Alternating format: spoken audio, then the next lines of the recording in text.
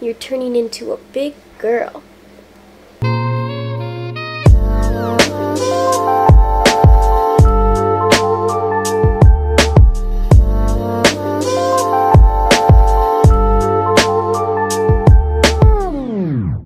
Guys, welcome back to my channel. My name is Emily Jean if you haven't been here before.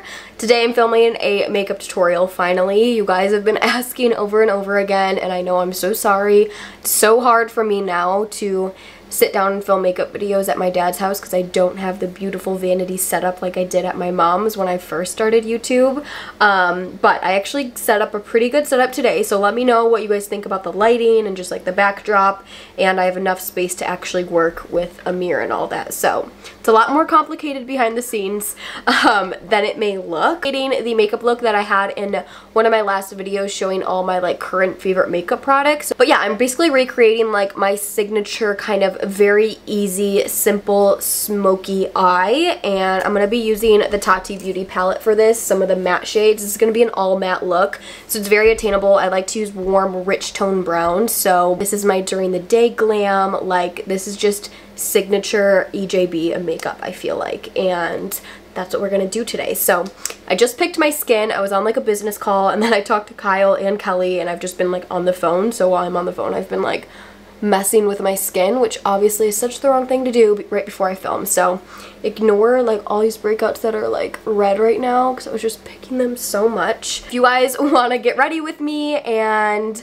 learn how to get my signature smoky look, then just keep watching. Alright, first step, we're going to clip our hair back. You guys were asking me where I got these clips from. They're actually from Ulta. I linked them in a different video, but I'll link them again down below in this video as well as all the other products and we'll get to it. I actually did a fake tan last night so you can see my body's pretty tan. I did put it on my face and neck but it's just like not coming off very tan which is fine because we're to apply dark makeup anyways. So for primer I'm to take the Professional Hydrating Primer. This is just to help fill in my pores. I like to take a pea size amount of this and I'm to press this into my problem area, which is usually the T-zone for most people. I love the hydrating one. Just like gives my skin the extra hydration that it needs. But definitely having your good skincare routine underneath before you do your makeup is so important, you guys. I cannot stress it enough. I'm next to take my Laneige sleeping mask. Just put this on now to hydrate our lips while we're doing our face. So when we come around for lipstick, they are nice and prepped. This lip mask is so good, but I did just order the Tatcha one from the Sephora VIB sale, and I am so excited to get that. I haven't gotten it yet. I'm now applying the Charlotte Tilbury primer. This is a glow primer. It's called the Wonderglow. I talked about this in my favorites video, and I love this. It's just a really nice glowy primer, and this is one that I like to put everywhere to give me that glow underneath my foundation. Okay, next for foundation, today I'm going to be using the CC Plus cream from It Cosmetics. I love this. This is a super high coverage CC cream and it just has a lot of great things in it for your skin plus SPF and it's pretty sunny out today. It's actually very sunny out today for Michigan. Our weather's been kind of crappy all spring. Very crappy all spring, I should say. And for the 1st of May, actually feels like spring outside. It's like 65 and it's been sunny all day. I love it. So much easier to film when it's nice out. Like Michigan gloomy days, it is so dark in my room and just even with like artificial lights, I just feel like it's just not like right enough. And I'm not like in the good mood vibes, you know, because most days, you guys, lately, I've literally been in pajamas all day long. I'll take two showers a day. I'll get in bed. I'll eat in bed. I'll be on my laptop like all day just doing the most random stuff. But yeah, so let me know if you guys have been like doing the same things or what you guys have been up to in quarantine at this point because I feel like we're kind of in a different point from when we first started quarantine. I feel like it's not as like exciting anymore. Not that the beginning of quarantine was exciting. I just felt like the beginning I kind of like needed it at that time, but now I'm like, over it because we've been stuck inside for so long. So I think my motivation has really gone away for the whole quarantine motivation. But I just like, I also have realized that I'm trying not to be too hard on myself either because I do truly believe this is a time for many of us to take a step back and just not be so hard and rushed and always having to do something and always having to be somewhere and always, always having to talk to someone. Um, I think it's important to just be in the moment and just chill and just be with yourself if you're able to. And for all the people that are still working right now, my heart goes out to you. I just can't imagine having to be in the public working right now. Um, all the grocery store workers, healthcare workers, just all those services that are essential. Thank you to you if you guys are doing that. It's amazing. Okay, so the foundation is on. It's pretty easy to blend out. Definitely needed to blend it down my neck. I'm kind of making this look a little bit more daytime. The main look of this is the eyes, which I will show you. We will do that once we finish our base. Um, so just know like you can do your base however you want. Some days I want more glowy and light and like daytime, which is kind of what I'm doing right now. And some days I want more full glam, full coverage matte for like a night out. Um, so the base can really kind of change. I mean, the same techniques are always used for me. The products I use depend on the mood, depend on the weather, depend on what I'm doing. So just keep that in mind. But once we get to the eyeshadow, just like the technique and placement and colors I like to use is always pretty much the same. So now I'm taking my Tarte Shape Tape, applied that to my T-zone, all the areas I like to conceal. This is in the shade light medium. I really like this color. It's a good like lighter color for when I'm tan. And when I'm my natural color, this like almost matches perfectly. So I'll use it with like no makeup days and just conceal under my eyes with it. I blend out with the same sponge. And to set my under eyes and all the little T-zone areas, I'm going to take my Coty Airspun powder. This is the translucent extra coverage, which is very important with this powder. They have like actual shades. But you want to get the extra coverage translucent. And you only need the tiniest bit of this, so I just literally dip my sponge right into it. And even that's like a little too much, tap it off. And just press under my eyes. I don't want to bake, like I don't actually want to see the powder on my face when I'm applying it. I just want to press it into the skin so it sets. That I think this product is overused sometimes by people and then they hate it because they're using too much of it. This is also shown in my favorites video. For any breakouts too, like this whole little area where I have quite a few breakouts, I like to set that area usually a little bit more just to keep the coverage on those. So now moving on to our cheeks, I'm going to contour and like warm up the face. I'm going to take this Kylie bronzer in the shade Almond. This is also my favorites video. She has a great shade range. This is one of the darker ones just because when I am tan and I'm doing more like full eyeshadow, I like to do a pretty heavy contour and bronze. So I'm going to take my Morphe M530 brush and contour my face. Normally I never link brushes just because it's like a hassle and I'm being lazy, but I finally have all my brush links and they're pretty much always the same. So I will link every brush that I use in this video down below and like what I used it for because sometimes if a brush is marketed for blush, sometimes I use it for bronzer or vice versa, kind of make up my own rules. Kind of contouring the nose, going under the lip.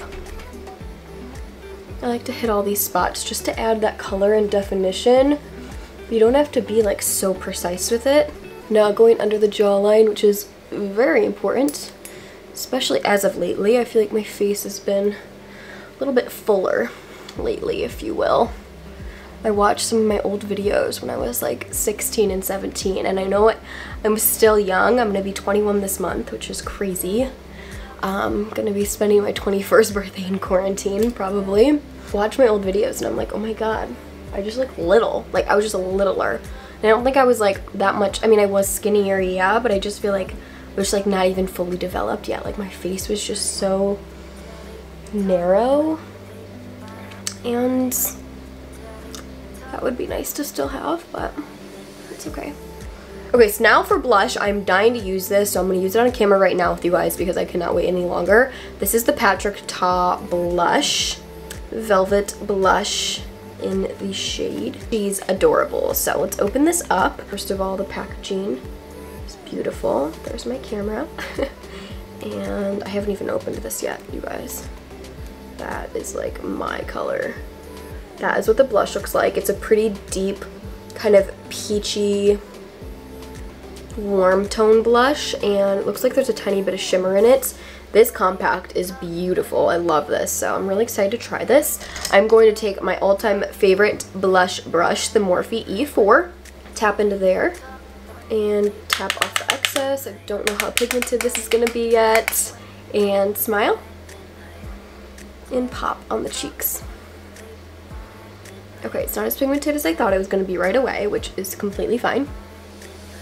You just want to be careful when you're using a new blush to kind of test it out. I feel like I work faster than I can explain to you guys. I do my cheeks first and then leftover product I go over my nose, chin, and up on my forehead. I really like my color everywhere. I don't like placing certain products just in one area because I feel like it doesn't overall blend together as a full look. When someone just puts blush on their cheeks, I just find it to look more obvious, which obviously you're wearing makeup. I just like the more fully blended, seamless look. So I'll take these brushes and kind of hit everywhere else on the face and so far that blush is so pretty. So for highlight, I'm actually going to go back to an oldie. I haven't done this in a while. This is my Charlotte Tilbury Flawless Hollywood Flawless Filter. And this is more of like a liquid highlighter. It's very light. Um, I use this in the summer a lot when I already have like a normal suntan. And I'll just use this on my face more as like a glow product. You can also use it on top of makeup. Even though we already did some powders, you can still make it work. So it comes on this doe foot and I'm just gonna tap it on my cheeks and use this as my highlighter. It still gives that natural look, but because it's a liquid, it's more of that like wet look than like shiny powdery look. I'm gonna take my beauty sponge and I kind of take like the part where nothing, I don't use it. This flat side I use for foundation, this pointed side I use for concealer and powder, so I kind of like to use like the part that nothing's used for to tap out highlighter or any like liquid products like this that I use later on. And you'll see it just gives that wet look. Like the actual highlight isn't that intense. It's just that look. And I kind of just dab over my cheeks overall to blend everything together.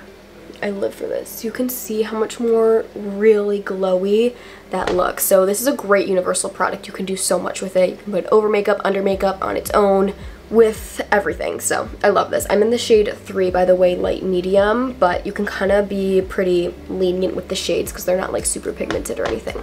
I think we're going to move in. Move in. I think we're going to zoom in so we can do our eyes. Like I said, for our eyes, we're just using the Tati Beauty palette. For this look, I actually highly recommend the Juvia's Place matte palette, which I'll have linked down below because all we're going to be using are the first row, which are all her mattes. And I'm really only going to be using like the neutral tones, the browns, and maybe a little bit of the black. Um, so the Juvia's Place is an all matte palette with beautiful tones in it. Um, it's like 10 or 20 bucks from Ulta. So if you can't get your hands on this, which I know you can't right now, highly recommend the Juvia's Place one. Okay, let's zoom in. So first things first, you can see when I kind of close my eyes how some of the concealer has been creased in there just from doing our makeup. So I'm going to take my beauty sponge and blend out those creases. That just happens naturally while you're doing your makeup. And I'm going to take just any fluffy brush. I do need one that's like just for light colors. I don't have one with me right now. This is one I normally use in my crease. Um, and I'm going to take the shade Aura, which is this really pretty creamy shade, and just kind of put that everywhere just to set the eyes, brighten them up a little bit. And a similar shade is in the Juvia's Place palette too, by the way. The Juvia's Place palette I actually prefer for this look. I don't have it here at my dad's house, um, so I'm working with what I have here. But I actually prefer the Juvia's palette for this look because this look is an all matte look and it's just a smaller palette and easier to use and has just like the colors that I need. While this, I'm kind of like working out of a giant palette when I'm only using like the matte shades. But either way, like the actual formula is amazing.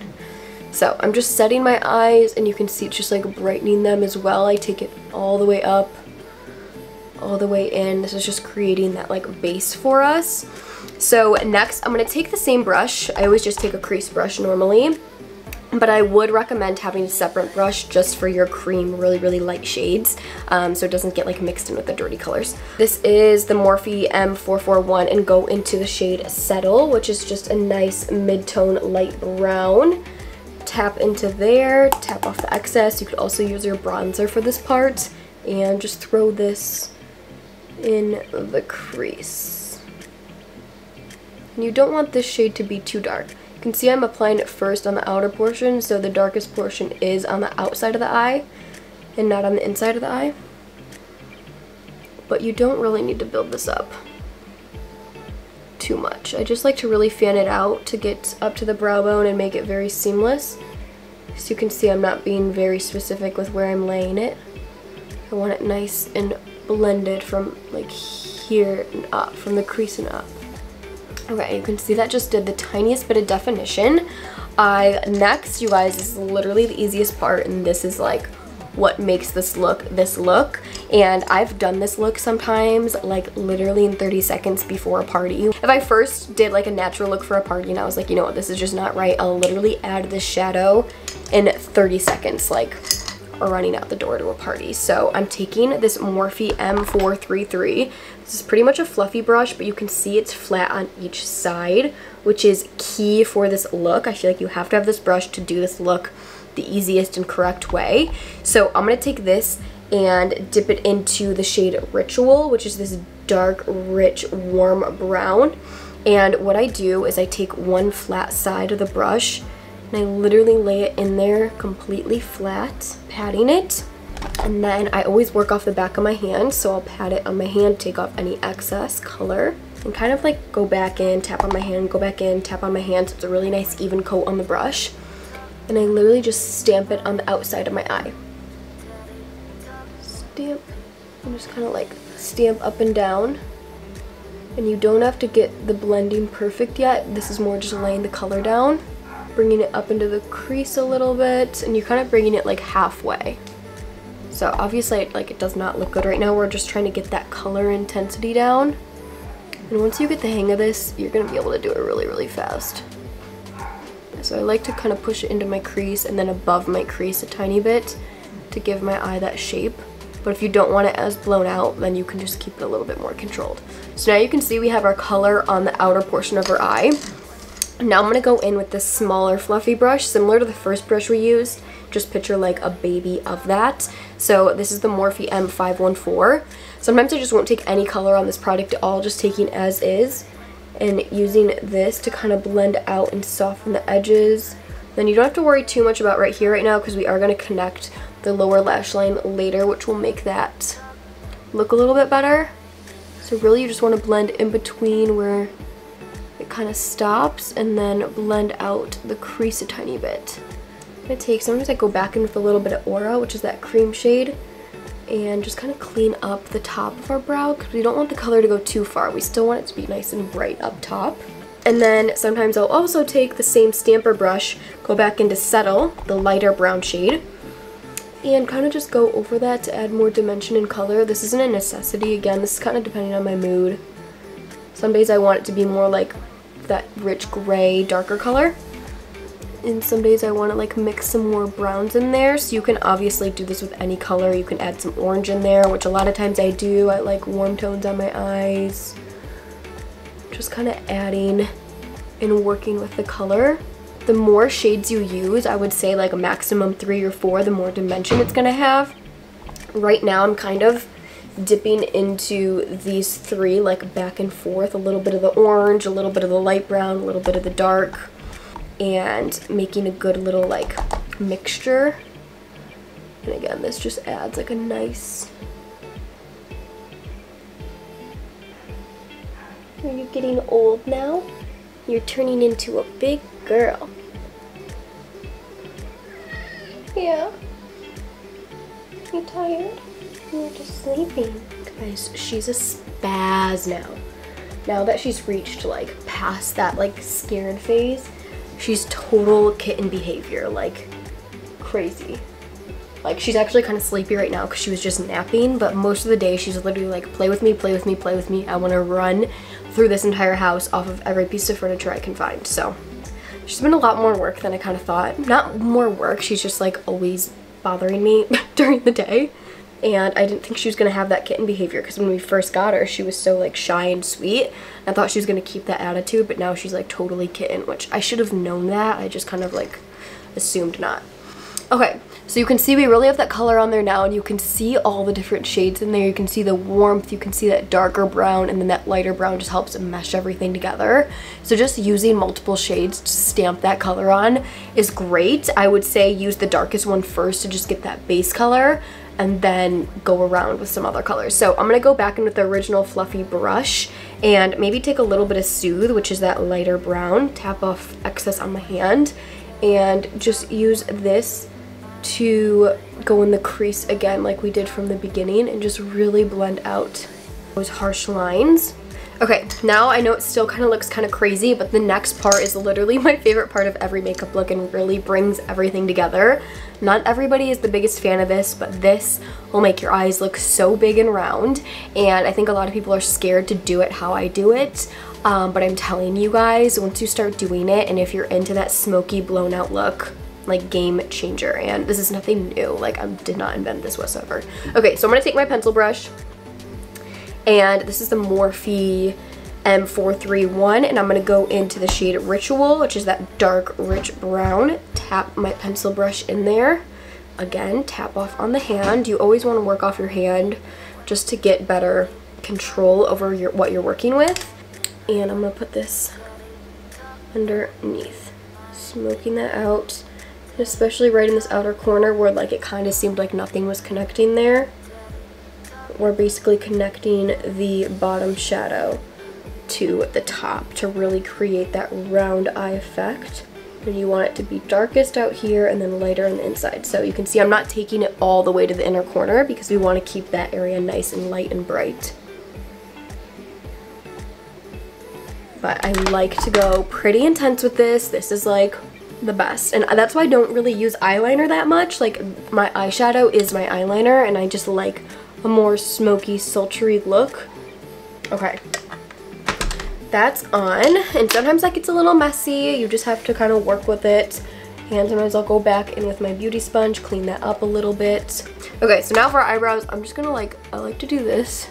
It takes off like all the nasty foundation that was on sitting on top of them. And for my brows, I'm going to use what I've been using for a while now. This is the Foolproof Brow Powder from Benefit in the shade 5. Um, and I'm just going to quickly fill in my brows, nothing special. I'm going to fast forward through this, just skip through it so you don't have to watch because brows are boring and everybody has like their own brow routine. So Okay, we are back. Eyebrows are on. You guys can probably see how this look is really coming together now. Next, I'm going to do my mascara really quick, which I guess I'll probably speed up through this too because mascara is so self-explanatory and I talk about my favorites all the time. So I'm going to curl my lashes. I'm going to use L'Oreal Lash Paradise on the top and MAC Giga Black Lash on the bottom. Um, so yeah, on the top, on the bottom, gonna do this really quick. You can always apply a false lash. Normally when I'm going out, I would, um, but for today, we're not even gonna bother, so mascara is on now for the lips finally and then we're almost done i'm gonna do a classic emily lippy so if you guys follow me then you already know what i'm about to use i have my 09 spice from milani literally very low. All of them look like this now. I just need like a fresh one because they're all so gross at this point. Um, and then I'm going to top it off with a light nude gloss. This one's from Marc Jacobs. I always use a different gloss just depending on my mood again. So whenever you guys are asking me what is on my lips, it's always or most of the time 09 Spice with either a cream lighter nude gloss or like a completely clear gloss over top. Um, so yeah, I'm going to outline my lips with this and I like to overline a little bit. And when you overline, you want to overline in the center. So right here, I'll go over a little bit. But then follow my natural in the corners. And then I'll overline my cupid's bow, but then follow my natural on the corners again.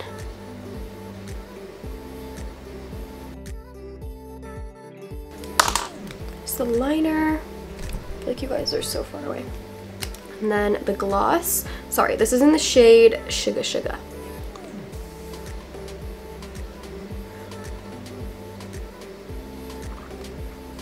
I think that completes this look. Hope you guys enjoyed this video and like the end result. This is literally like my go-to makeup look. I'm obsessed with it. It's so easy and I hopefully I explained it a little bit more in detail for you guys. I haven't filmed like a legit tutorial in a while.